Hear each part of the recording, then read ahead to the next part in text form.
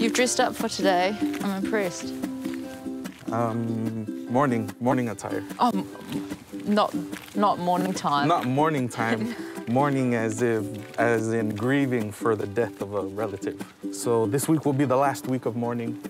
The last week. Been one year. Been one year. It's been one year. Yep.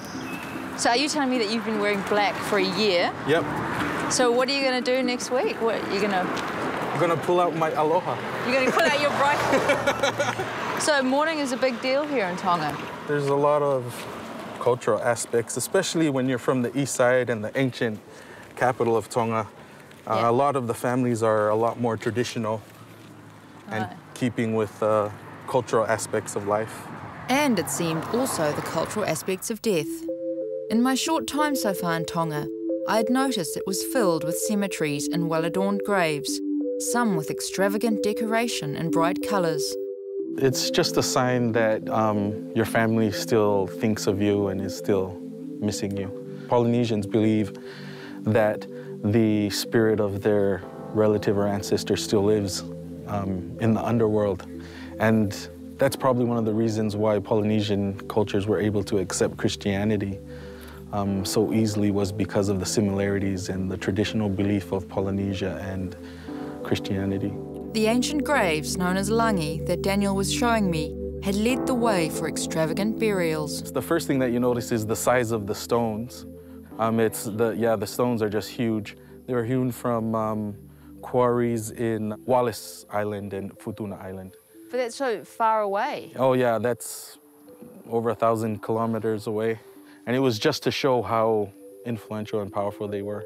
While exploring this side to Tongan culture had been interesting, Daniel wanted to show me the more mysterious remnants of Tongan history. What do you, What was the reason for building this? Um, there are a number of different theories. I'm actually currently writing a book on some Are you serious? recent discoveries that I've made okay. And part of it has to do with um, the western leg right here. If you notice, it's kind of leaning. The angle that it leans is actually the angle of this exact spot to the path of the sun or the Tropic of uh, Capricorn.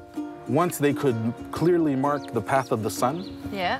then the ancient Polynesian navigators could mark the path of certain stars and know exactly where they were in the world, especially the latitude. Currently, um, all historians and anthropologists believe that Tonga and Samoa are the heart of Polynesia, but they're not really sure where, which came first, Tonga or Samoa.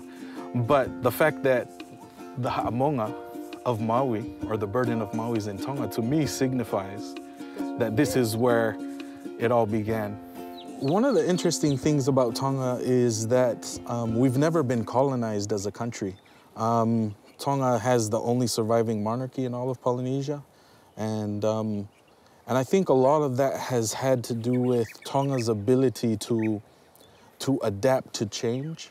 And I think the democratic changes that we're having now is just part of that process.